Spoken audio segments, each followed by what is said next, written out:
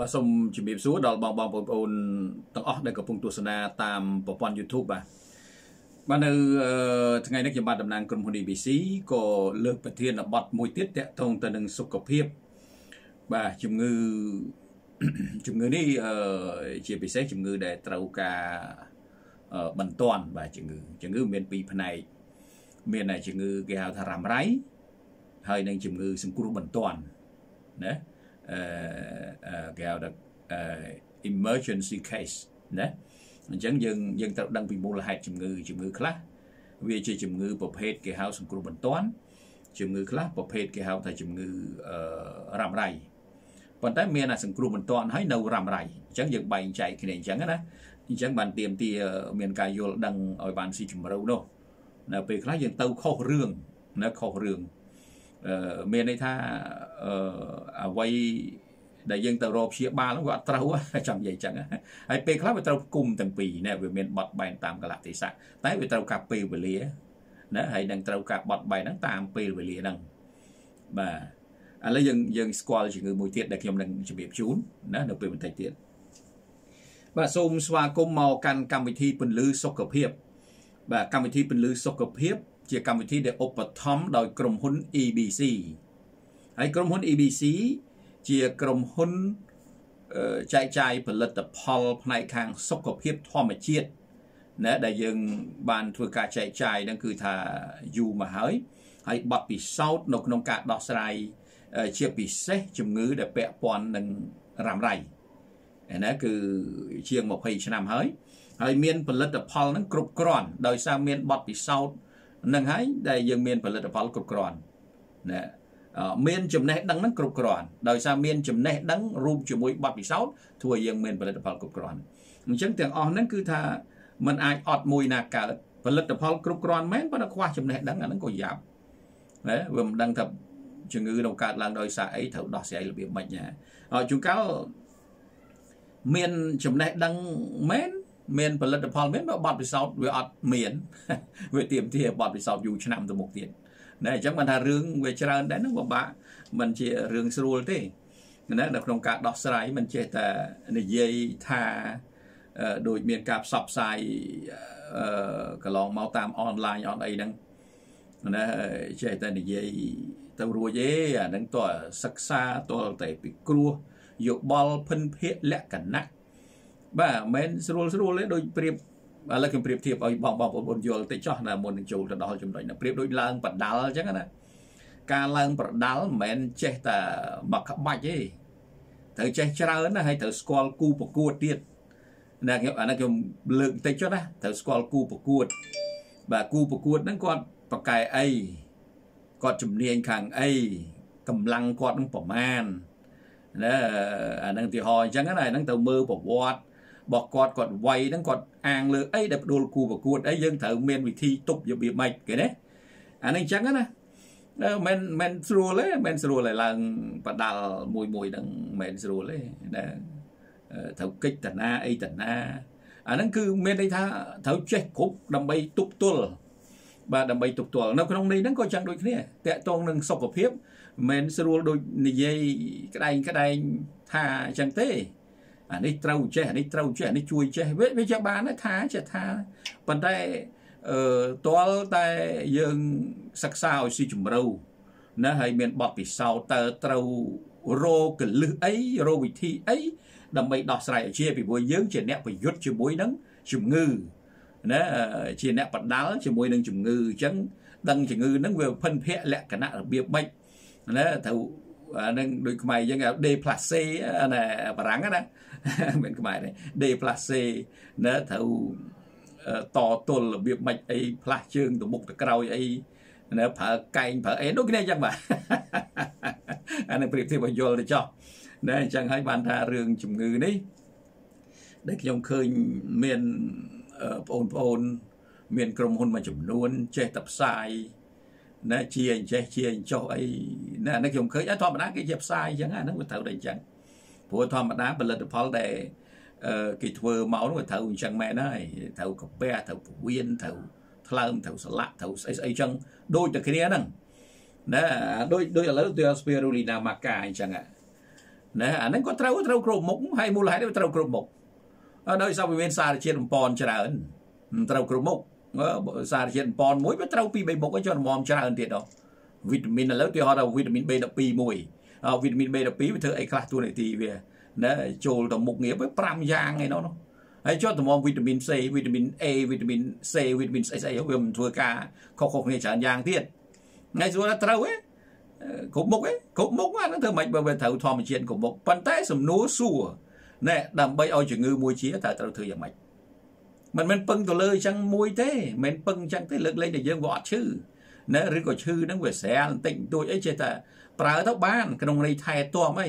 ប៉ុន្តែដល់ចូលទៅក្នុងន័យជំងឺរ៉ាំរ៉ៃហើយធម្មតាចេះតែកាលណាជំងឺរ៉ាំរ៉ៃហើយភាគច្រើនចង់ជាឆាប់ហើយ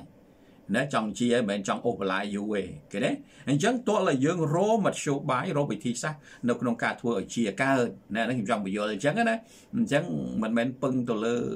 មួយមុខទេពឹងទៅលើច្រើនមុខណាហើយបត់បែនទៅតាមកលៈទេសៈដូចខ្ញុំនិយាយយើងអឺ ឡើងបដាល់អញ្ចឹងមិនមែនឡើងទៅអាងតកែងនឹងមួយទេត្រូវស្អីស្អីច្រើនណាណាក្នុងន័យហ្នឹងក៏ដូចគ្នាការព្យាបាលក៏អញ្ចឹងដែរណាព្រោះក្នុងនាមជាអ្នកព្យាបាលអឺបានន័យថាប្រៀបបានដូចជាមនុស្សដែលត្រូវឡើងបដាល់ដូចជាអ្នកបដាល់ម្នាក់ដែរឃើញទេអឺដើម្បីយកឈ្នះទៅលើជំងឺអញ្ចឹងដើម្បីឲ្យជំងឺឈ្នះជំងឺហ្នឹងតើសិក្សាពីជំងឺហ្នឹង ជំងឺហ្នឹងវាវាមានហេតុវាយ៉ាងម៉េចសញ្ញាវាយ៉ាងម៉េចណាអាហ្នឹងនិយាយវែងតិចព្រោះដើម្បីបញ្យល់ឲ្យដឹងសាច់រឿងណាអវាវាកើតឡើងដោយមូលហេតុអីឃើញទេត្រូវសិក្សាពីហ្នឹងត្រូវសិក្សាពីហ្នឹងណាបាត់បានហើយបើយើងចេះតែព្យាបាលស្រែកកោកកោកអឺមិនទៅរួចអត់ទេអត់ទេអត់អត់ស្រួលប្រហែលទេអញ្ចឹងបានថារឿងសុខភាពខ្ញុំចេះតែណែនាំដាស់តឿនទី1ត្រូវមានចំណេះដឹងតែខ្វះចំណេះដឹងហ្នឹងពិបាកណា ទៅរកខុសរកខុយណាហើយធម្មតាអ្នកខ្លះគេចេះនិយាយអានឹងត្រូវត្រូវអានឹងត្រូវត្រូវអត់ត្រូវហើយមានខុសអីប៉ុន្តែសួរជាទេវានៅ hesitate ណាស្ទាក់ស្ទើរក្នុងការនិយាយណាអានេះអញ្ចឹងណាអញ្ចឹងអញ្ចឹងមិនយើងត្រូវដឹងណាបាទអញ្ចឹងហើយបានចំណុចសំខាន់ក្រុមហ៊ុន ABC យើងមានបទពិសោធន៍នឹងវាយូរអញ្ចឹងការយល់ដឹងពីជំងឺហ្នឹងវាវាមិនថាទាំងអស់ទេប៉ុន្តែសឹងគ្រប់គ្រាន់ដែលអាចជួយបាន ណាហើយផលិតផលក៏មានគ្រប់ដែរគេណាបាទនឹងមានអស់ហើយផលិតផលត្រៀមរួចស្រេចរាល់បញ្ហាដែលកើតមានហ្នឹងគឺថា complete ហ្មងបាទហើយគោលការណ៍ដែលយកមកអនុវត្តសុទ្ធតែជាគោលការណ៍របស់អ្នកប្រាជ្ញណាដែលបានសិក្សារៀនសូត្រណាតាមពីក្រោយអ្នកដែលទទួលបានពានរង្វាន់ Nobel ណាមិនមែនចេះតែនិយាយចេះតែថាទៅរួចទេណាចង់បញ្យល់ជូនអញ្ចឹងណាបាទអញ្ចឹងនឹងគាត់បើកវគ្គបញ្យល់ឲ្យបានជ្រាបអញ្ចឹង ណាឲ្យបងបងប្អូនបានដឹងពីកលៈទេសៈណាហើយសូម្បីតែអញ្ចឹងហើយសូម្បីតែយើងមានគ្រប់គ្រាន់អីហើយនឹងមិនអឺមិនប្រកាសថាអូត្រូវតែ100%ត្រូវតែអីអត់ទេដោះស្រាយទៅតាមដំណើរនៃការវិវត្តរបស់ជំងឺនឹងទៀតទប់ទល់របៀបម៉េចរបៀបម៉េចណាអញ្ចឹងជារឿងច្រើនណាបាទរឿងច្រើនណា បាទអញ្ចឹងបងបងប្អូនតលតែខ្លួនយើងនឹងយល់ផងហើយអ្នកដោះស្រាយហ្នឹងតលតែមានចំណេះជំនាញពិតប្រាកដផងអានឹងបានបានណាបាទក្រុមហ៊ុន ABC នៅផ្ទះលេខ266ផ្លូវលេខ150នៅក្រោយមន្ទីរពេទ្យលោកសង្ឃចម្ងាយប្រហែលជា250ម៉ែត្រតាក់ទងទូរស័ព្ទលេខ012 98 11 25 015 98 11 25ថែមលេខ8 98 11 25បាទអញ្ចឹងនេះជាលេខទូរស័ព្ទរបស់ក្រុមហ៊ុន ABC ណាបងបងប្អូនតំណាក់តំណងមកបើសិនតែត្រូវការសួរនាំពីគ្រោះយោបល់អីយ៉ាងណា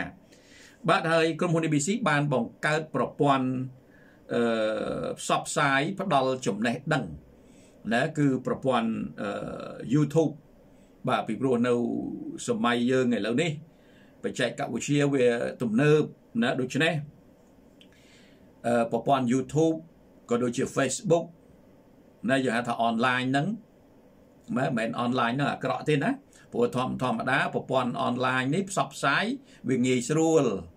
មិនមែនថាអេឲ្យតែអនឡាញអាក្រក់ទេប៉ុន្តែនៅក្នុងចំណោមមនុស្សល្អវាមានអាក្រក់ហ្នឹងធ្វើម៉េចអានឹងចង់បញ្យល់អញ្ចឹងណាទោះបីអនឡាញក៏ដោយមិនអនឡាញក៏ដោយអ្នកដែលប្រុងអាក្រក់អាក្រក់ហ្មងហ្នឹងបាទហើយពួកអាក្រក់ហ្នឹងក៏វាជ្រៀតចូលជាមួយរឿងល្អហ្នឹងដែរព្រោះវាឆ្លាតដូចតែគ្នាហ្នឹងអ្នកពួកអាក្រក់វាចង់ឆ្លាតជាងយើងផងបាទបាទកុំថាពួកហ្នឹងល្ងងបើល្ងងវិញមិនបន្លំយើងបានណា វាមិនល្ងងទេពួកនោះអូឆ្លាតណាស់តែយើងតលតែឆ្លាតដូចវាអានឹងមិនអាចទប់ទល់បានណាណា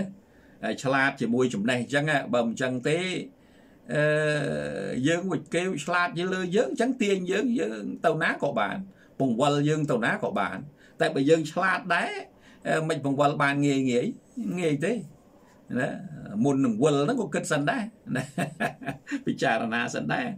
ណាចង់បញ្ជាក់ជូនអញ្ចឹងណា បាទអញ្ចឹងនៅក្នុងប្រព័ន្ធអនឡាញប្រព័ន្ធផ្សព្វផ្សាយ YouTube ណាក្រុមហ៊ុន ABC បានបង្កើតនៅ channel ខ្មែរនិយាយថា channel អង់គ្លេសថា channel អញ្ចឹងបើខ្មែរនិយាយថាប៉ុសអញ្ចឹងចុះព្រោះវាមានប៉ុសរៀងរៀងខ្លួនណាដូចយើងប៉ុសទូទួអានោះដូចទូទួអញ្ចឹងបាទបាទប៉ុសអានៅខ្មែរយើង channel channel ហ្នឹងបងបងហ្នឹងគឺគេប្រើជាមួយនឹង ភាសាបារាំងណាបងនឹងវិទ្យុយើងបងបងលេខម៉ានលេខម៉ានដល់ឥឡូវនេះគេប្រើពាក្យ channel អង់គ្លេសណា channel channel លេខម៉ានអញ្ចឹងណាបាទអញ្ចឹងយើងមាន channel របស់យើងហ្នឹងក្នុង YouTube គឺ EBC ពន្លឺសុខភាពបាទយើងវាយពាក្យជាភាសាអង់គ្លេសទៅ EBC ណា EBC ហើយដកឃ្លាបន្តិចទៅអក្សរខ្មែរវិញ ពន្លឺសុខភាពបាទឃើញហើយចង់មើលអីក៏បានដែរហើយប៉ុសនេះប៉ុសនិយាយពីរឿងសុខភាពណាអត់មាននិយាយពីអីក្រៅសុខភាពទេបាទប៉ុសសុខភាពបាទបាទអញ្ចឹងក្នុង YouTube នឹងមាន បាទហើយ page បាទ page ហ្នឹងក៏ EBC ពលឺសុខភាពដែរណា EBC ជាភាសាអង់គ្លេសឲ្យដក clear ទៅគឺពលឺសុខភាពហើយ page ទី2ហ្នឹងគឺប៉ាងលីហៅណាឈ្មោះខ្ញុំបាទផ្ទាល់ហ្នឹងហើយ page ទី3នោះគឺ ប៉ាងលីហៅ EBC ជាភាសាឡាតាំងក្នុងនឹងមានហើយហើយ Facebook គឺ1 Facebook ខ្ញុំបាទផ្ទាល់តែមកទៅគឺប៉ាងប៉ាងលីហៅនឹង Facebook ខ្ញុំបាទហើយណាបាទអញ្ចឹងបងបងប្អូនអាចតំណាក់តំណងចោះតាម page ហ្នឹងក៏បានតាមទូរស័ព្ទមកបើសិនតែចាំបាច់បន្ទាន់ពួក page គេលោកវាយឺតយ៉ាវបន្តិចបាទបើអញ្ចឹងទម្លាក់លេខទូរស័ព្ទតាមហ្នឹងមកអឺខ្ញុំបាទតនេហ្នឹងក៏អាចអឺ ទេពីគ្រោះយោបល់អីក៏បាន តែបើបន្ទាន់នឹងទេមកវិញមកស្រួលព្រោះមួយថ្ងៃថ្ងៃភ្ញៀវសួរនាំច្រើនណាបាទបាទហើយហោហែណាអតិថិជនរបស់ក្រុមហ៊ុន ABC មានដល់ច្រើនក្រៅប្រទេស នៅថៃនៅកូរ៉េនេះកូរ៉េទៅរៀបចំផ្ញើអតិថិជនរបស់យើងពីរនាក់ទៀតហើយណែដែលគាត់បានសុខភាពប្រសើរជាងមុនច្រើនណាណាហើយនឹងនៅអាមេរិកនៅអូស្ត្រាលីអីក៏ ពីមុនច្រើនបណ្ដោយកូវីដទៅឥឡូវក៏វាស្ងាត់តិចនៅបែកបែកខាងនោះណាបើពីមុនសបោនៅអាមេរិកនៅអូស្ត្រាលីនៅហ្វាំងឡង់បាទនៅប្រទេសច្រើនទៀតបាទដែលគាត់បងប្អូនប្រជាជនខ្មែរយើងនៅទីហ្នឹងគាត់ឈឺហើយគាត់មិនមិនទៅពេទ្យទេទៅបើមើលមិនឃើញដឹងជំងឺអីពេទ្យគេថាអត់មានជំងឺបើមនុស្សជាឈឺហ្នឹងនេះអាហ្នឹងជាបញ្ហាចោតបាទអញ្ចឹងឥឡូវកុំឲ្យខាត់ពេលចូលទៅដល់ ជំងឺបាទថ្ងៃនេះលើកពីជំងឺគ្រុនពោះវៀនបាទគ្រុនពោះវៀននេះតាមពិតលើកភាសាប៉ុន្តែវាមិនទាន់លំអិតយូរហើយនោះតែឥឡូវឲ្យលំអិតជាងនេះទៅទៀតឲ្យបានយល់ច្បាស់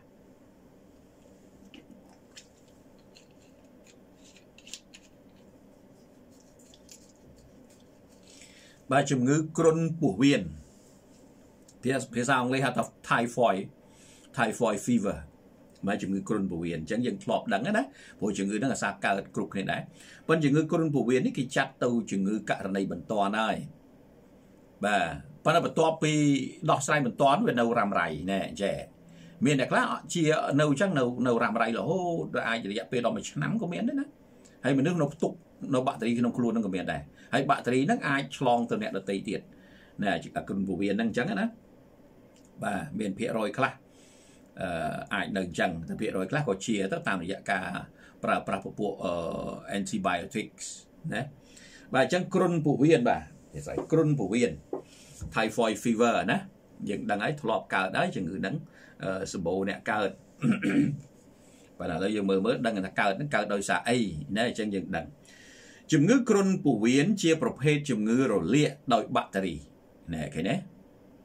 bacteria infection fever ណាគឺជាជំងឺដែលរលាកដោយបាក់តេរីបានន័យថាជំងឺហ្នឹងវាបង្កឡើងដោយបាក់តេរីណាបាក់តេរីហ្នឹងចូលទៅក្នុងខ្លួនហើយបង្កឲ្យមានការរលាកបាទជាពិសេសពោះវៀននឹងហ្មងហើយនឹងសរីរាង្គផ្សេងៗទៀតជំងឺគ្រុនពោះវៀនជាប្រភេទជំងឺរលាកដោយបាក់តេរីដែលអាចរាលដាលពេញទាំងរាងកាយប៉ះពាល់ដល់សរីរាង្គជាច្រើន ប្រសិនបើ បើបើមិនបានព្យាបាលឲ្យទាន់ពេលវេលាទេ វាអាចបង្កឲ្យមានបញ្ហាស្មុគស្មាញជាច្រើននិងអាចគ្រោះថ្នាក់ដល់ជីវិតបាន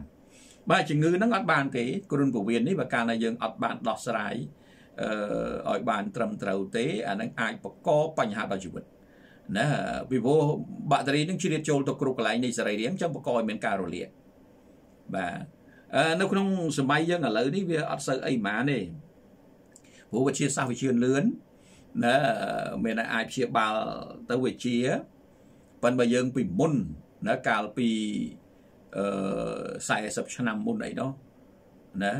អាហ្នឹងអូគ្រោះថ្នាក់ណាកើតហើយវាសិតតែបញ្ហាហើយ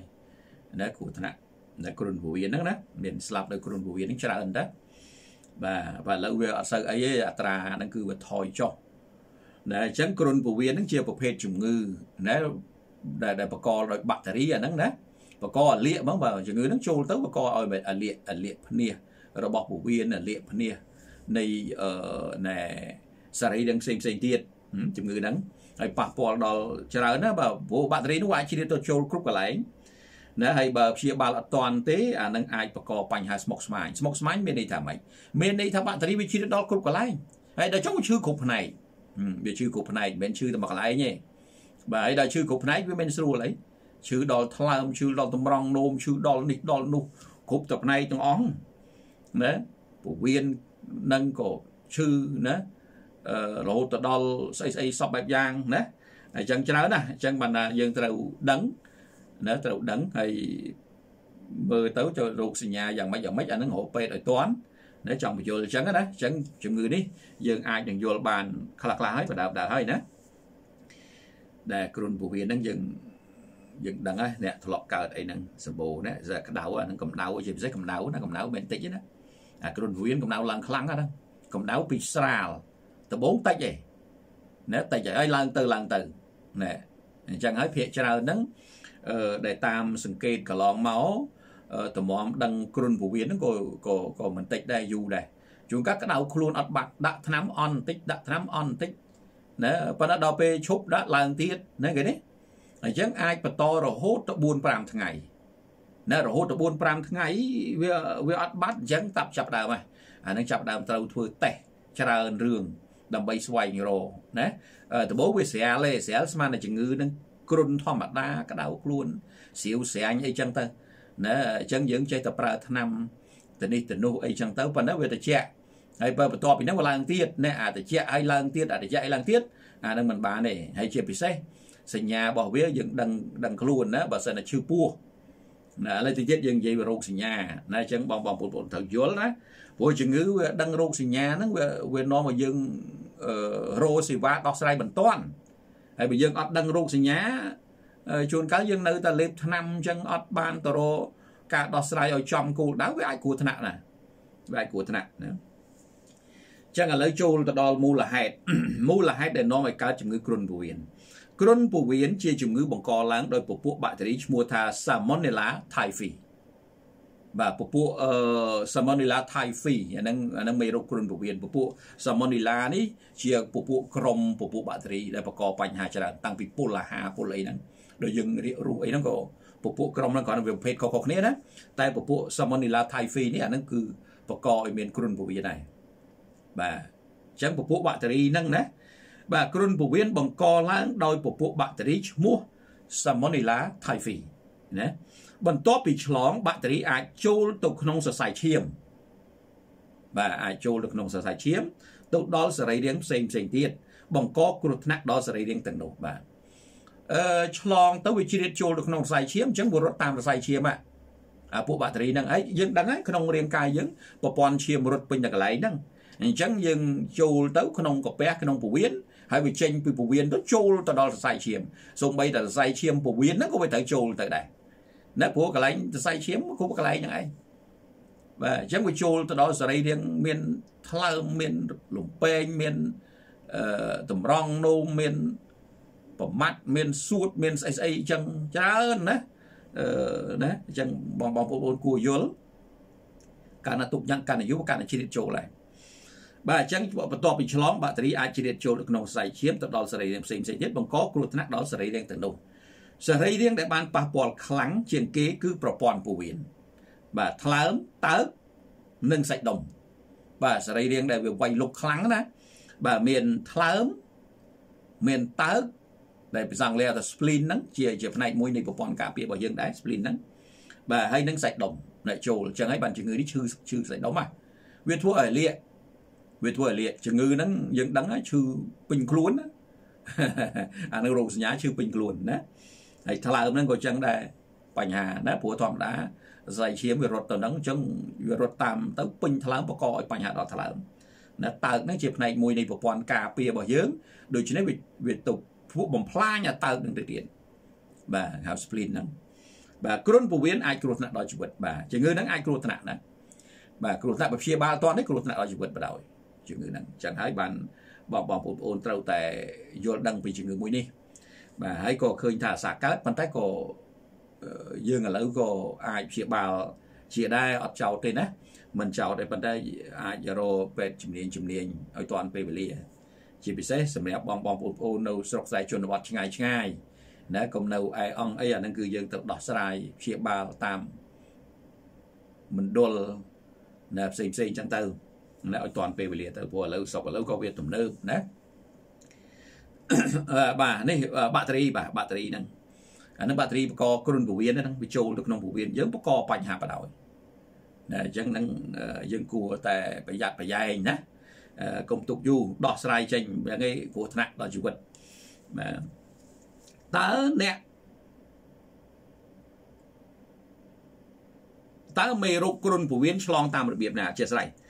លុបពីពីនោះមកអស់តើមេរោគគ្រុនពោះវៀនឆ្លងតាមរបៀបណា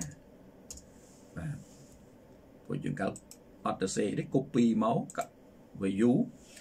បាទអញ្ចឹងជំងឺគ្រុនពោះវៀនឆ្លងរបៀបម៉េចណាឆ្លងតាមរបៀបណាណាមនុស្សបានឆ្លងគ្រុនពោះវៀនតាមរយៈអាហារនិងទឹកដែលមានមេរោគណែឃើញទេស្ដាប់ឲ្យតន់ណាអាហ្នឹងឆ្លងពីណា ឆ្លងពីអាហារហើយនឹងទឹ កក្នុងអាហារហ្នឹងវាមានមេរោគហ្នឹងក្នុងទឹកហ្នឹងវាមានមេរោគហ្នឹងឃើញទេប្រយ័ត្នប្រយែងអញ្ចឹងណាអាហ្នឹងអាហ្នឹងរឿងទឹកណាអត់បានទេអាហ្នឹងប្រយ័ត្នប្រយែងមែនទែនគ្រុនពវៀនច្រើនកើតនៅតំបន់មិនមានអនាម័យល្អណាហ្នឹងអញ្ចឹងទេសបោកន្លែងដែលអត់មានអនាម័យហ្នឹងគឺគឺគឺប្រយ័ត្នហើយអញ្ចឹងបានថានេះជាជាជាមូលហេតុរបៀបឆ្លងនៃជំងឺគ្រុនពោះវៀនអញ្ចឹងបងបងប្អូនត្រូវតែ គិតគូររឿងហ្នឹងឲ្យមែនទែនបាទដើម្បីជៀសវាងការឆ្លងជំងឺគ្រុនពោះវៀនណាស្ដាប់ឲ្យតន់បាទមនុស្សបានឆ្លងមេរោគគ្រុនពោះវៀនតាមរយៈអាហារអញ្ចឹងអាហារដែលយើងហូបហ្នឹងអាហារដែលយើងហូបហ្នឹងអតាមរយៈទឹកដែលយើងផឹកដែលមានមេរោគក្នុងអាហារហ្នឹងវាមានមេរោគក្នុងទឹកហ្នឹងវាមានមេរោគបាក់តេរីហ្នឹងបាក់តេរី Salmonella bacteria ហ្នឹងណាគ្រុនពោះវៀនច្រើនកើតនៅតំបន់ដែលមិនមានអនាម័យនៅកន្លែងណាដែលខ្វះអនាម័យគឺសបោហើយហ្នឹង ការចូលបន្ទប់ទឹកដោយមិនបានសម្អាតដៃជាមួយសាប៊ូផឹកទឹកណាការផឹកទឹក និងអាហារគ្មានអនាម័យបាទនេះថាអាហារឆៅណាទឹកឆៅណាអឺឬក៏បន្លែឆៅអានេះសិតត្រូវហើយណាអញ្ចឹងប្រយ័ត្ននិយាយមែនតើបាទជួនកាលគេយកទឹកនោះមកលាងបន្លែហើយអាទឹកនោះមានបាក់តេរីវានៅជាប់ក្នុងហ្នឹងហើយយើងទទួលទានបន្លែឆៅដោយមកចូលព្រាមឃើញទេអាហ្នឹងក៏ជាបញ្ហាដែរអញ្ចឹងប្រយ័ត្ន ហើយនឹងការប៉ះពាល់ជាមួយអ្នកជំងឺគ្រុនពោះវៀនមានការប្រឈមពុកខ្ពស់ណាមានន័យថាអ្នកដែលប៉ះពាល់ហ្នឹងក៏ប្រឈមដែរណាអញ្ចឹងយើងត្រូវដឹងទាំងអ្នកឈឺក៏ត្រូវអនាម័យទាំងអ្នកដែលនៅក្បែរហ្នឹងក៏ត្រូវអនាម័យហើយជាពិសេសរឿងរឿងបន្លែហ្នឹងរឿងទឹកហ្នឹងក៏ចឹងដែរណាដែលយកទឹកមិនស្អាតទៅលាងហ្នឹងអាហ្នឹងក៏គ្រោះថ្នាក់ណាព្រោះមេរោគវានៅទឹកនៅបន្លែហ្នឹងណាហើយការចូលបន្ទប់ទឹកណាចូលចូលបត់ដៃបត់ជើង ណាជាពិសេសយើងដឹងហើយការចូលបន្ទប់ទឹកដោយបត់ដៃបត់ជើង អឺហើយมันបានលាងសម្អាតឬក៏លាងសម្អាតដែរប៉ុន្តែការលាងសម្អាតនោះมันបានมันបានឲ្យបានល្អហ្នឹងក៏ប្រឈមនៃការដែលនៅគ្រោះថ្នាក់ណាឆ្លងដែរនឹងប្រយ័ត្នណាប្រយ័ត្នមែនតើណាទាំងខ្លួនយើងក្តីទាំងឆ្លងទៅអ្នកដទៃក្តីណាអញ្ចឹងគឺអឺនៅក្នុងបន្ទប់ទឹកនីមួយនីមួយ គួរតែមានសាប៊ូគួរតែមានអឺឥឡូវយើងមានពពួក gel សម្រាប់លាងដៃហ្នឹងហើយក៏បាញ់អកុលអីចឹងទៅខ្លះទៅបាទឬក៏ gel សម្រាប់លាងដៃហ្នឹងក៏ត្រូវមានសាប៊ូត្រូវមានហើយសម្រាប់អ្នកដែលធ្វើដំណើរតាមឡានក្រុងណាធ្វើដំណើរទៅនេះទៅនោះអីគួរតែមានអាផលិតផលអស់ហ្នឹងសម្រាប់សម្អាតពីព្រោះជាពិសេសយើងធ្វើដំណើរទៅផ្លូវឆ្ងាយ ណាហើយមិនដឹងថាអ្នកណាគេអនាម័យមិនអនាម័យអីបើកន្លែងខ្លះអនាម័យទៅកន្លែងខ្លះអត់ណាអឺគ្រាន់តែអនាម័យហ្នឹងក៏អ្នកខ្លះក៏មិនបានធ្វើអាហ្នឹងខ្ញុំមិនយល់ណាដូចជាក្នុងបន្ទប់ទឹកក្នុងអីអញ្ចឹងទៅយើងមានទឹកគ្រប់គ្រាន់ណាតាមការ៉ាសសាំងតាមអីហ្នឹងធ្វើឲ្យស្អាតទៅគេចូលគេទិញរបស់គេជួយទិញទៅមិនមែនគេអត់ជួយទិញទេ ណាអញ្ចឹងហើយបានថាឥឡូវឃើញគ្រាន់បើបើពីមុន0ហ្មងហើយក្នុងបន្ទប់ទឹកហ្នឹងក៏យើងត្រូវមានឧបករណ៍បញ្យួរអីចឹងទៅខោអាវអីចឹងទៅណាអត់ទេភាកច្រើនដែលខ្ញុំបានដឹងណាអញ្ចឹងហើយមិនដឹងយ៉ាងម៉េចអាហ្នឹងគ្រាន់តែដាក់បញ្យួរដាក់អីទៅមានទឹកគ្រប់គ្រាន់ណាសម្អាតអីទៅគេគេមានហើយតែតែអ្នកដែលធ្វើដំណើរទៅហ្នឹងគឺថាបាទបើនេះគេជួយទិញនេះទិញនោះ ណាដោយសារគេបានជួលបន្ទប់ទឹកចឹងទៅមិនអត់ទេមនុស្សខ្លះភាគច្រើនគេមានចិត្តទៅវិញហើយជួយគ្នាទៅវិញទៅមកហើយគេដាក់ tip ដាក់អីចឹងទៅបាទអញ្ចឹងអាហ្នឹងគឺតកតងអនាម័យហើយម្យ៉ាងទៀតវាអនាម័យខ្លួនយើងទៀតណាអាហ្នឹងសូមបញ្ជាក់អញ្ចឹងណាបាទអញ្ចឹងស្ដាប់ឲ្យតន់ណាជំងឺគ្រុនពោះវៀនហ្នឹងមនុស្សបានឆ្លងជំងឺគ្រុនពោះវៀនតាមរយៈអាហារនិងទឹកដែលមានមេរោគ គ្រុនពោះវៀនច្រើនគ្រុនពោះវៀនច្រើនកើតនៅតំបន់ដែលមិនមានអនាម័យការចូលបន្ទប់ទឹកដោយមិនបានសម្អាតដៃជាមួយសាប៊ូការផឹកទឹកណានិងអាហារគ្មានអនាម័យគឺទឹកឆៅអីជាដើមឡាក់ណាបាទហើយនឹងការប៉ះពាល់ជាមួយអ្នកជំងឺដែលមានមេរោគគ្រុនពោះវៀនហ្នឹងគឺប្រឈមនៃការឆ្លងអញ្ចឹងឆ្លងឆ្លងតាមនឹងឯងណាអត់មានឆ្លងតាមចាក់មជុលចាក់អីទេអត់មានទេគឺឆ្លងតាមបាក់តេរីដែលចូលនៅក្នុង ខ្លួនរបស់យើងតាមរយៈយើងហូបទឹកទឹកចូលទៅឬក៏អាហារចូលទៅហើយសួរអាហារហ្នឹងយ៉ាងម៉េចអាហារហ្នឹងយើងកាលយកទឹកកក្រិចហ្នឹងមកលាងតែទឹកដែលមានបាក់តេរីហ្នឹងមកលាងហើយយើងហូបទឹកហ្នឹងក៏ចឹងដែរជួនកាលវាមានបាក់តេរីមកលាងអត់ជួនកាលប៉ះពាល់ជាមួយអ្នកជំងឺដែលគាត់មានជំងឺធម្មតាមានជំងឺមានមេរោគអញ្ចឹងប៉ះពាល់ទៅនៅដៃហើយដល់ដៃយើងយកកាន់នំកាន់អីមកហូបចុកអីចឹងទៅចូលបន្ទប់ទឹកហើយអត់លាងដៃយកអាដៃហ្នឹងមកកាន់នំកាន់អីហូបចូលក្នុងខ្លួនចឹងទៅ ឃើញទេណែឬក៏ពេលខ្លះអឺអ្នកហ្នឹងគាត់អ្នកអ្នកធ្វើមហូបធ្វើអីគេហើយចូលបន្ទប់ទឹកមិនបានលាងដៃខ្លួនឯងហ្នឹងណាទៅកាន់របស់នេះរបស់នោះអឺក៏មានអាមេរោគនឹងចូលមកអ្នកដតីនឹងដែរឃើញទេអញ្ចឹងបានថាត្រូវអនាម័យទាំងអស់គ្នាណាអានឹងសូមបញ្ជាក់ជូនការឆ្លងហ្នឹងឆ្លងតាមរបៀបហ្នឹងបាទហើយខ្លាំងជាងគេបំផុតគឺទឹកហ្នឹង ណាខ្លាំងជាងគេអានឹងមានមេរោគមានបាក់តេរីអឺនឹងទឹកសត្វតែតំបន់ដែលកើតគ្រោះថ្នាក់ហ្នឹងតំបន់ដែលអត់មានអនាម័យហ្នឹងត្រូវហើយហ្នឹងគឺសម្បូរណាកើតបាទរោគសញ្ញាកើតជំងឺគ្រុនពោះវៀនឥឡូវសួររោគសញ្ញាយ៉ាងម៉េចបាទរោគសញ្ញាគឺគ្រុនចាប់ពីកម្រិតតិចតិចរហូតទៅដល់ក្តៅខ្លួនដល់40.5អង្សាសេណាឡើងកម្ដៅ40អីនោះ អានឹងគ្រុនខ្លាំងអញ្ចឹងអត់ស្រួលទេណាណាប៉ុន្តែយើងមើលនឹងយើងកុំទុកក្តៅពេកអត់បានទេបញ្ហាអញ្ចឹងចាប់ពីតិចមើលដល់អត់ស្រួលអីអានឹងយកល្អទៅពេទ្យបដ ாய் ណាទៅមើលឆែកមើលអីសពបែបយ៉ាងហើយវាយថ្នាំទៅបាទអញ្ចឹងកម្ដៅឡើងខ្លាំងណាប្រយ័ត្នពីតិចទៅខ្លាំងមិនឡើងភ្លាមពុបទេអត់ទេអានឹងតិចតិចតិចតិចតិចតម្រាំតាមេរោគនឹងវាសកម្ម តែអញ្ចឹងវាធ្វើការខ្លាំងអញ្ចឹងទៅប្រព័ន្ធការពារយើងទៅទប់ជាមួយមេរោគនឹងកាន់តែខ្លាំងអានឹងគឺគឺទៅទុកហើយណាក្តៅខ្លាំងហើយឈឺក្បាលឈឺសាច់ដុំណាអស់កម្លាំងបាទឈឺក្បាលឈឺសាច់ដុំអស់កម្លាំងណានេះសញ្ញាណាអញ្ចឹងឈឺសាច់ដុំមកពីវាយប្រហារទៅលើសាច់ដុំហ្នឹងណាហើយឈឺក្បាលហ្នឹងក៏ចឹងដែរអញ្ចឹងអានេះគឺជាសញ្ញាដែលយើងគួរយល់បាទឈឺពោះ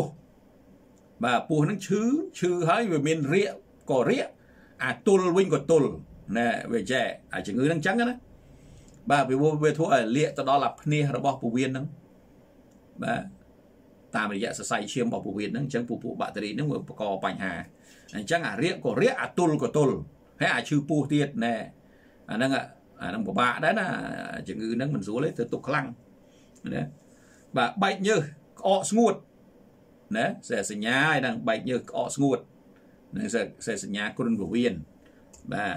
បាត់បង់ចំណងឃ្លានស្រកទម្ងន់បាទទម្ងន់ទៅហូបអត់បានហូបឲ្យកើតឈឺពោះផងចុកផងរាកផងអួតផងហើយដល់អញ្ចឹងលេងឃ្លានអស់ហើយដល់លេងឃ្លានវាស្រកទម្ងន់ហ្នឹងយើងអត់ហូបអីចូលបាទហើយជំងឺនេះគឺរបស់របរ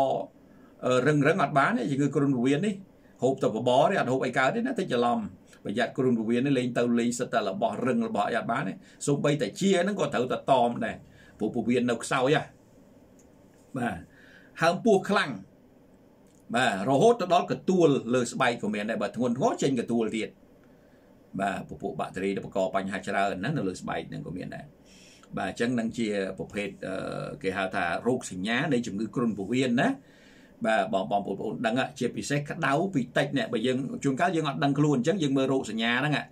នេះមើលរោគសញ្ញាតាំងពីទី1មកណាក្តៅតិចតិចរហូតឡើងកម្ដៅខ្លាំងដល់40ណាហើយជាពិសេសឈឺក្បាលហើយឈឺពេញខ្លួនណាហើយចូលចូលរយៈពេលហ្នឹង3 4 5ថ្ងៃមកហើយអាហ្នឹងសញ្ញាហ្នឹងគឺគ្រុនពោះវៀនឲ្យកុំទុកណាបើសិនអញ្ចឹងមកនាំកូននាំចៅទៅមន្ទីរពេទ្យឲ្យតាន់ពេលវេលាព្រោះជំងឺហ្នឹងជំងឺគ្រោះថ្នាក់ណាហើយ យើងដឹងហើយឈឺពោះចុកផងរាកផងណាជួនកាលអត់រាកទៅទទួលវិញក៏មានដែរណាព្រោះពោះវៀនវាធ្វើការលែងកើតណាហើយបែកញើក្អកស្ងួតអានឹងធម្មតាបាត់បង់ចំណងឃ្លាននេះធម្មតាចេញទទួលលើស្បែកហើមពោះខ្លាំងណាអានឹងជាសញ្ញាដែលយើងសម្គាល់ហើយអញ្ចឹងបើសិនអញ្ចឹងទេអានឹងរូតរះភ្លាមទៅមន្ទីរពេទ្យនឹងផ្ដាំផ្ញើកត្តាប្រឈមមុខកើតជំងឺគ្រុនពោះវៀនណា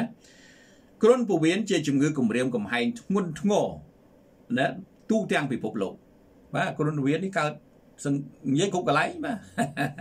ហើយប៉ះពាល់មនុស្សជាង27លានអ្នកក្នុងមួយឆ្នាំមួយឆ្នាំបាទមួយឆ្នាំមួយឆ្នាំប៉ះពាល់បន្តិចទេគុណពវៀននឹងខ្លាំងណាបាទជំងឺនេះកើតច្រើននៅតំបន់ដូចជានៅឥណ្ឌាសម្បូរព្រោះនៅតំបន់ហ្នឹងឥណ្ឌាវាភាគច្រើនមនុស្សច្រើនដូចចឹងអនាម័យដូចជាស្ទើរខ្លាំងណាបាទយើងឃើញក្នុងរូបភាពក្នុង ខ្សែវីដេអូផ្សេងផ្សេងហ្នឹងក៏ក្រិចបាទអូបាទហើយទឹកអីណាអញ្ចឹងប្រយ័ត្ននៅអាស៊ីអាគ្នេយ៍យើងហ្នឹងនៅតំបន់យើងហ្នឹងអាស៊ីអាគ្នេយ៍មានខ្មែរមានវៀតណាមមានឡាវមានថៃមានប្រុយណេមានស្អីហ្នឹងណាប្រទេសអស់ហ្នឹងតំបន់អស់ហ្នឹងគឺសម្បូរណានៅអាហ្វ្រិកហើយនៅអាហ្វ្រិកហ្នឹងគឺយើងដឹងហើយណាសិតតំបន់មិនសូវមានអនាម័យទេណា បាទអាស៊ីយើងនៅគ្រាន់បើបើថានៅអាហ្វ្រិកនោះទៅយ៉ាប់ទៅទៀតហើយជាងសម្បូរជំងឺជាពិសេសគ្រុនពោះវៀនហ្នឹងអាមេរិកនៅខាងត្បូងក៏យ៉ាងដែរណាហើយនឹងតំបន់ជាច្រើនទៀតនៅលើពិភពលោកណាអញ្ចឹងគឺគ្រុនពវៀនហ្នឹងគឺសម្បូរនៅប៉ែកអញ្ចឹងណាសម្បូរនៅប៉ែកអញ្ចឹងណានៅឥណ្ឌានៅអាស៊ីអាគ្នេយ៍នៅអាហ្វ្រិកណានៅអាមេរិកខាងត្បូងហើយតំបន់ជាច្រើនទៀតបាទ នៅលើពិភពលោកកូនក្មេងច្រើនកើតជំងឺគ្រុនពោះវៀនខ្លាំងជាងមនុស្សចាស់ប៉ុន្តែរោគសញ្ញាមិនធ្វើទុកខ្លាំងដូចមនុស្សចាស់ទេភាគច្រើនក្មេងព្រោះក្មេងវាអត់អនាម័យបាទក្មេងអត់អនាម័យអញ្ចឹងបានថាយើងដឹងយើងត្រូវបរៀនកូនឲ្យមានអនាម័យត្រឹមត្រូវណាយើងមើលឲ្យយល់យល់កូនចៅហ្នឹងគឺដូចខ្ញុំនិយាយអញ្ចឹងថា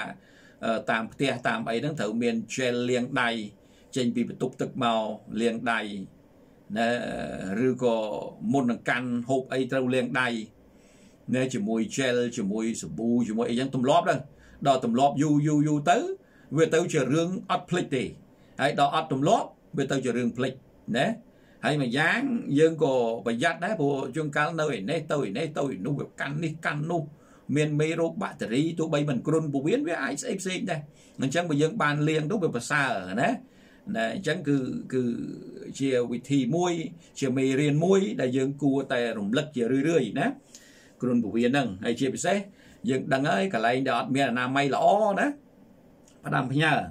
កន្លែងដែលអត់មានអនាម័យល្អអញ្ចឹងខ្លួនយើងក៏ដោយណាឧទាហរណ៍ចៃដន្យយើងទៅធ្វើដំណើរតាមស្រុកស្រែជនបទ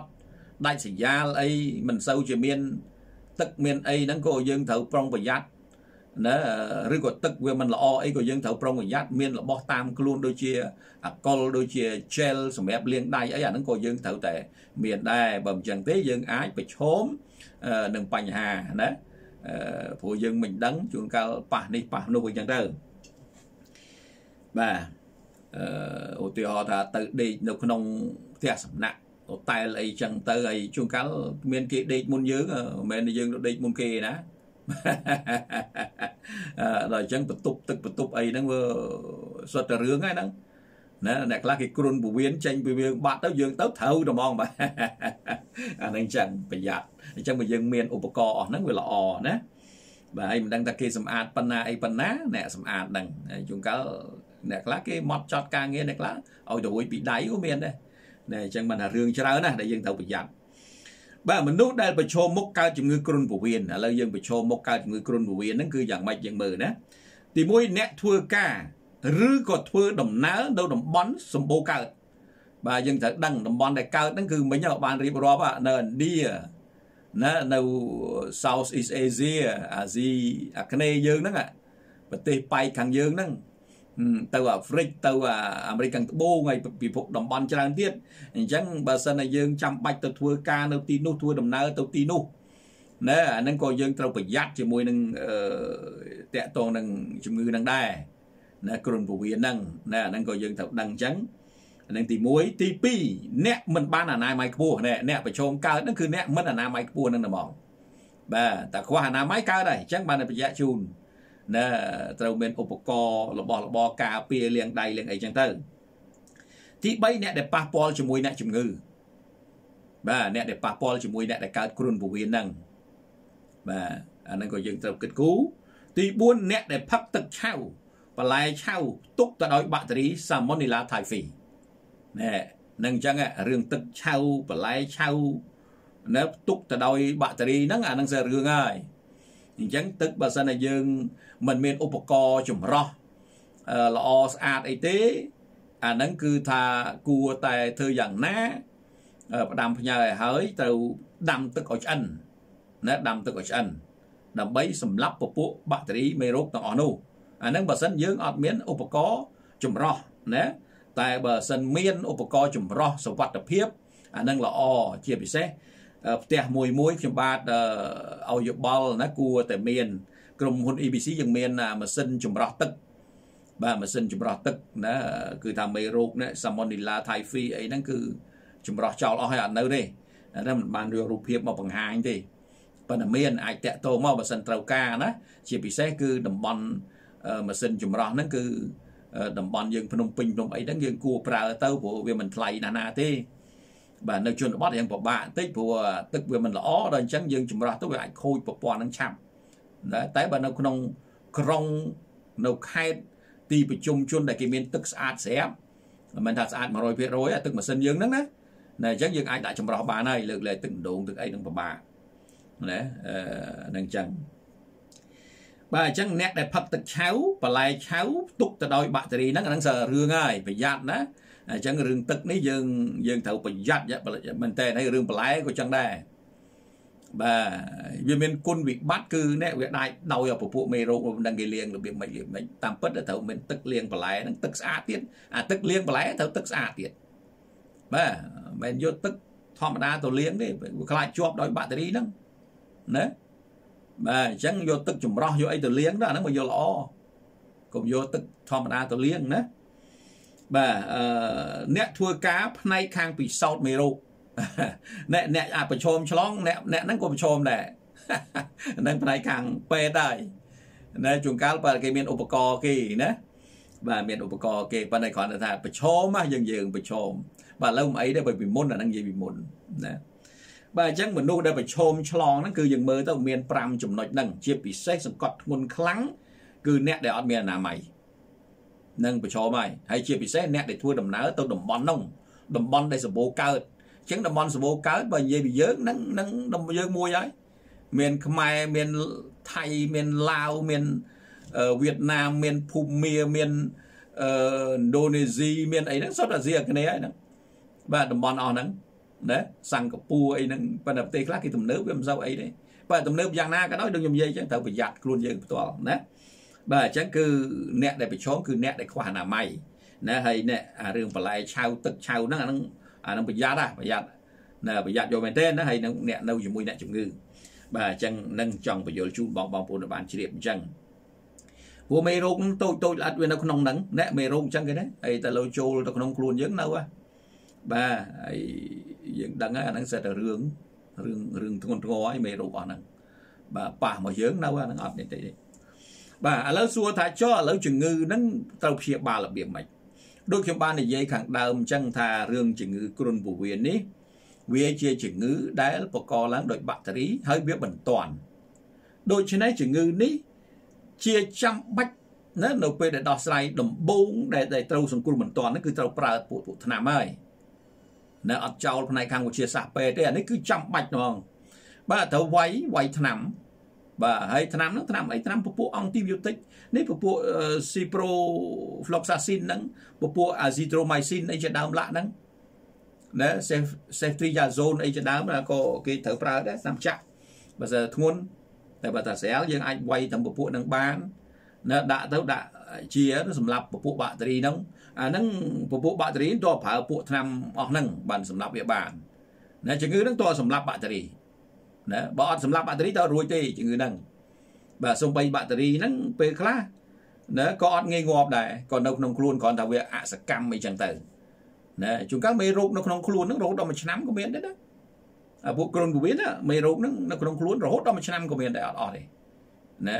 គូផ្សំជាមួយរាងកាយយើងធ្លាក់ផងអត់អស់ទេតែបើចង់ឲ្យអស់ហ្មងចង់ឲ្យរាងកាយនោះវាដើរអានឹងមានវិធីសាស្ត្រណែអានឹងចូលសាច់រឿងហ่ะ ណែចង់បញ្យល់ជូនអញ្ចឹងប៉ុន្តែជំងឺនេះជាជំងឺសង្គ្រោះបន្ទាន់អញ្ចឹងដាច់ខាតគឺត្រូវតែរោវិទ្យាសាស្ត្រពេទ្យនៅអត់នៅយូរទេណាហើយអត់នៅប្រើថ្នាំខ្លួនឯងទេនេះសូមផ្ដាំផ្ញើធ្វើឲ្យត្បិតតែដឹងថ្នាំដឹងអីក៏អត់នៅប្រើថ្នាំខ្លួនឯងគឺទៅស្នាក់នៅមន្ទីរពេទ្យលើកលែស្រាលពេទ្យដាក់សេរ៉ូមដាក់អីប្រើថ្នាំអីចឹងទៅតាមហ្នឹងទៅប៉ុន្តែចង់បញ្យល់ជូនថាដាច់ខាតត្រូវតែរោវិទ្យាសាស្ត្រពេទ្យ បាទអត់ចោលបាននេះជំងឺគ្រុនពោះវៀននេះហាមណាអញ្ចឹងបើជំងឺត្រូវមានមានការយល់ដឹងតិចទៅគេថាអីគ្រុនពោះវៀនរបស់ខ្ញុំបកកែណាអឺនៅខាងណាកណីអូអត់បានទេគ្រូថ្នាក់ដល់ជីវិតអត់អត់បានទេផ្ដាំផ្ញើជាដាច់ខាតអញ្ចឹងអត់ទេផលិតផលរបស់ខ្ញុំធម្មជាតិបកកែណារឿងគ្រុនពោះវៀនណារបស់ខ្ញុំចេះចុកអត់ទេត្រូវវាយថ្នាំសិនវាយថ្នាំសិនណាអត់មាននៅតាមដែលគេថាទេណាសូមបញ្យល់ជូនឲ្យបានច្បាស់ ណាសម្រាប់បងបងប្អូនប្អូនណាពីព្រោះជំងឺហ្នឹងវាបកកឡើងដោយបាក់តេរីដូច្នេះមានតែថ្នាំទេដែលត្រូវសម្លាប់វាបានណាអញ្ចឹងសម្លាប់វាសិនហើយចាំដោះស្រាយរឿងផ្សេងណាចង់បញ្យល់ជូនអញ្ចឹងណាបាទនេះដោះស្រាយរឿងផ្សេងនេះអឺយើងអាចប្រើប្រាស់ផលិតផលនេះបន្ទាប់ពីជាហើយយើងនិយាយថាជាអញ្ចឹងណាបានន័យថាបាត់កដៅខ្លួននៅ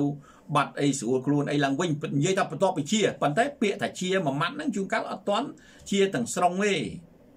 ណាអត់ទាន់ជាទាំងស្រុងទេណាអាហ្នឹងបើបើបានប្រើប្រើផលិតផលហ្នឹងបានមួយយ៉ាងដូចខ្ញុំជំរាបជូនអញ្ចឹងជំងឺហ្នឹងជួនកាលនៅក្នុងខ្លួនណាបាក់តេរីណានៅក្នុងខ្លួនរហូតដល់មួយឆ្នាំក៏មានដែរបាទបាក់តេរីអាចចូលទៅក្នុងខ្លួនហ្នឹងនៅថ្លើមនៅថង់ប្រមាត់រហូតធ្លាក់ទៅក្នុងពោះវៀនវិញណាពពួកបាក់តេរីហ្នឹង អញ្ចឹងដើម្បីសម្អាតដើម្បី clear ពពួកបាក់តេរីហ្នឹងឲ្យអស់ហើយឲ្យរាងកាយនឹងវាជួសជុលវាដើរឡើងវិញអានឹងគេត្រូវប្រើផលិតផលហ្នឹងហើយមាន spirulina maca មានទឹក chlorophyll មាន oxygen មាន ester C ហ្នឹងចាំបាច់ទៅប្រើបាទចាំបាច់ទៅប្រើអាហ្នឹងតែអាហ្នឹងបន្ទាប់ពីជាហើយបន្ទាប់ពីភ្នាក់អឺដេកពេទ្យព្យាបាលបានមួយអាទិត្យទៅ10ថ្ងៃអីហើយមើលទៅសុខភាពយើងវា ប្រសើរហើយដើម្បីឲ្យជាទាំងស្រុងដើម្បីឲ្យស្រួលហើយយើងអាចប្រើផលិតផលទៅជាមួយបានតែសួរថាចុះបើអាកំពុងក្តៅខ្លួនអាកំពុងញាក់កំពុងគ្រុនប្រើនេះបានទេអត់បានទេអត់បានទេប្រើបានប៉ុន្តែវាមិនជាព្រោះមេរោគកំពុងធ្វើទុកដូច្នេះតើទៅវាយថ្នាំសិនអាហ្នឹងចង់ខ្ញុំចង់បញ្យលជូនឲ្យច្បាស់អញ្ចឹងសម្រាប់បងបងប្អូនដែលត្រូវយល់ព្រោះជំងឺគ្រុនពោះវៀនជាជំងឺសង្គ្រោះបន្ទាន់មិនមែនជាជំងឺរ៉ាំរ៉ៃទេ ណារ៉ាំរ៉ៃបន្ទាប់ពីសង្គ្រោះបន្ទាន់ហើយមានន័យថាជាហើយអានឹងបានវាចូលមកក្នុងលក្ខណៈដែលយើងត្រូវស្ដាររាងកាយឲ្យដើរអញ្ចឹងប្រើប្រាស់ផលិតផលនឹងបានអត់អីទេណា